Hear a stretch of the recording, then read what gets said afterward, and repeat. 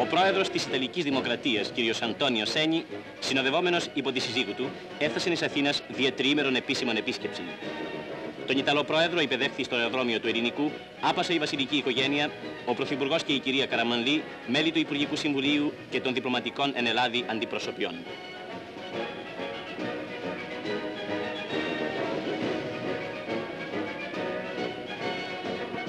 Σκοπός της επισκέψεως του Ιταλού Προέδρου ήταν η εξέταση θεμάτων αφορώντων την θέση των δύο χωρών στην κοινή αγορά, την χρησιμοποίηση των Ιταλικών επανορθώσεων ανερχομένων εις 3,5 εκατομμύρια δολάρια και την δημιουργία απειράβλου ζώνης εις τα Βαλκάνια και την Αδριατική.